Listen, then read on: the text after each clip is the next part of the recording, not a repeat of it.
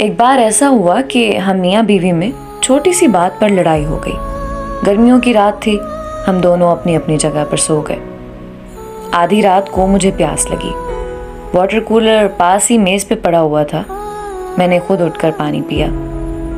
अचानक मैंने मुड़ के देखा तो वो मुझे गुस्से से देख रही थी और बोली कि आपने पानी खुद क्यों पिया? मैंने भी गुस्से और अकड़पन से जवाब दिया। हाथ पाँव सलामत हैं, खुद पी सकता हूँ, मफलूज नहीं हूँ। वो करीब आकर मेरा गिरेबान पकड़कर बोली कि, एक बात गौर से सुनो मेरी, लड़ाई अपनी जगह, लेकिन मैं अपना हक और खुशी नहीं छीनने दूँगी।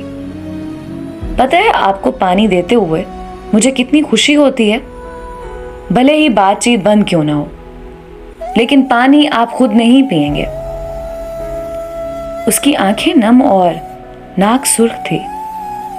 उसे गले लगाया और झगड़ा खत्म कर दिया।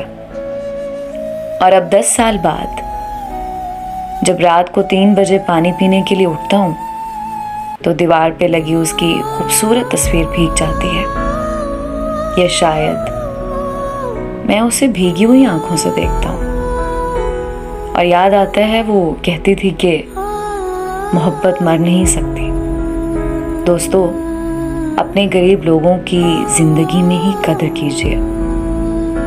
ज़िंदगी के बाद तो सिर्फ़ यादें रह जाती हैं।